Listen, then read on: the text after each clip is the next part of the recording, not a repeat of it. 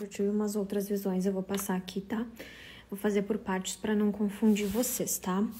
É, eu tive aqui, ó, uma visão, eu anotei todas, tá? Uma doença que vem de fora, mas, mas me dá uma sensação, tipo assim, ó, que tem alguém que já sabe, ou que já sabia, que só tá esperando a hora certa de noticiar. Sabe? Uma sensação mais ou menos assim. Uma descoberta na política. Algo que vai trazer um grande desgaste. Tem relação com dinheiro, com uma. Uh, uh, com alguma coisa comprada, sabe? Que vai vir às claras. Vejo desencarne de um homem após um procedimento, tá? Chamando muito atenção, trazendo muita tristeza. Eu sei quem é, mas não vou falar, tá? Vocês vão ter a sensação que os dias vão estar mais curtos e que o tempo tá indo muito rápido. E logo a mídia, né, ela vai vir com uma explicação para isso, né? Enfim, os cientistas, que vai ser algo que foi causado. Então preste atenção. Gente, eu vejo na Argentina o início de uma grande G ou de um de umas picuinhas aí que podem levar a uma G. Argentina entrando em conflito. Aqui eu coloquei também assim, ó. Virá mudanças na educação gerando polêmica, principalmente que diz respeito às crianças e à saúde. Inclusive, eu vejo pessoas levantando cartazes como se fosse uma greve, alguma coisa referente a esse assunto. Aqui me mostra também Anitta, tá? Ela vai ser hospitalizada novamente e tendo que fazer um tratamento mais longo e a descoberta de outra doença. Então, vamos pedir para que Deus proteja. Gente, nós teremos o primeiro chip implantado. Mas não é que nem aqueles que vocês viram, não, tá? Que saiu esses tempos. Não, o primeiro chip implantado com os dados das pessoas. E aí vocês vão dar razão ao que eu venho falando para vocês há muito tempo. Então abram os olhos de vocês, por favor. Gente, eu tenho a sensação que nós vamos perder um cantor. Mas esse cantor ele é mais velho. Ele como se ele cantasse modão assim, sabe? Uma pessoa que tem um um tato mais romântico assim, tá? Uh, e que vai trazer muito sofrimento, afinal, qualquer luto traz sofrimento. Eu, eu, vem na cabeça músicas antigas, então, desde, desde já também peço oração. Gente, eu vi como se fosse um vulcão, tá? Sendo descoberto, por exemplo, no Brasil, que é um lugar. Uh, vamos dizer assim, que não é comum, muito comum, tá? E um vulcão ou alguma coisa solta, tipo, é uma sensação de algo inusitado que responde muitos questionamentos do porquê que está acontecendo isso, tá?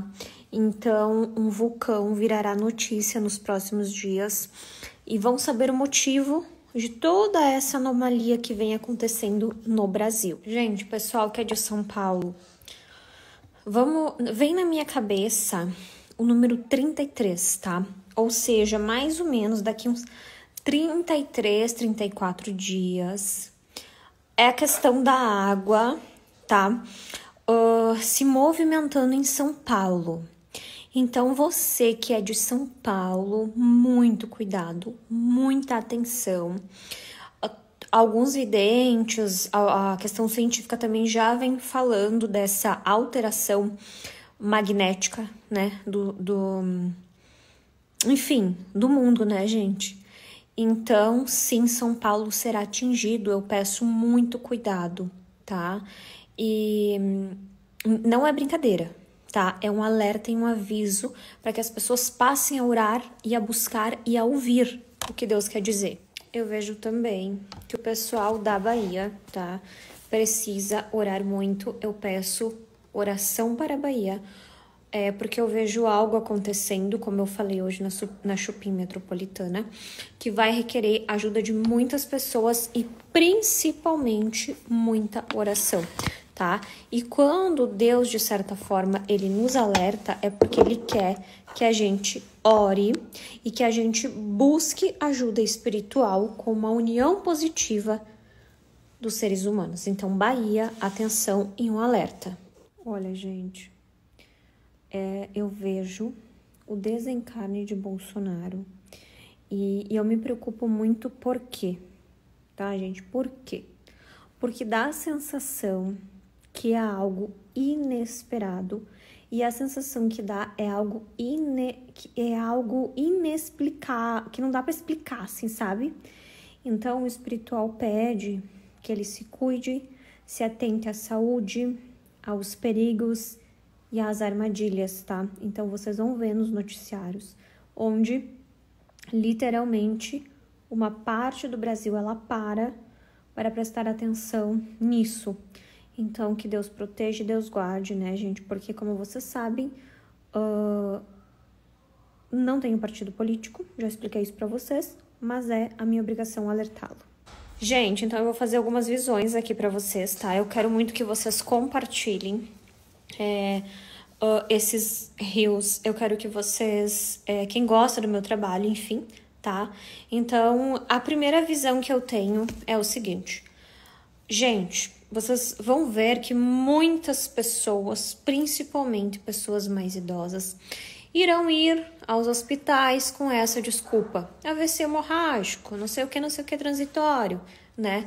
Porém, tem um significado específico, logicamente, que nós temos a questão da, é, da senilidade também, né? Mas tem muito a ver com tananã, tananã, tá? Então, tem coisas que não dá para colocar aqui, como eu disse, eu sempre vou debatendo essas questões lá no grupo, mas vai ser bem comum vocês ver vários famosos indo para o hospital com o tal do AVC, que não é bem assim, essa história não é exatamente assim, tá bem?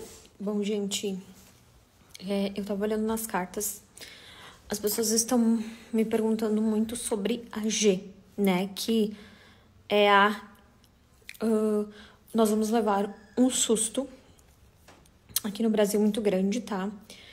Um país ele vai confrontar o Brasil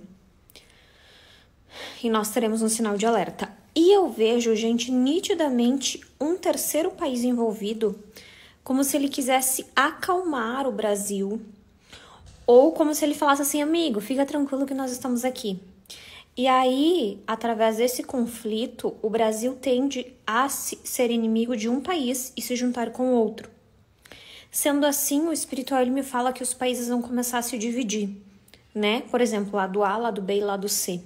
Só que vai chegar esse susto daqui uns dias para nós referente a G. E nós vamos sim levar um baita de um susto. Então vamos pedir oração ao nosso Brasil. O espiritual me mostra Janja tá envolvida em grande polêmica. Eu vejo ela vindo às mídias se explicar. Eu vejo uma turbulência muito grande na vida dela, tá?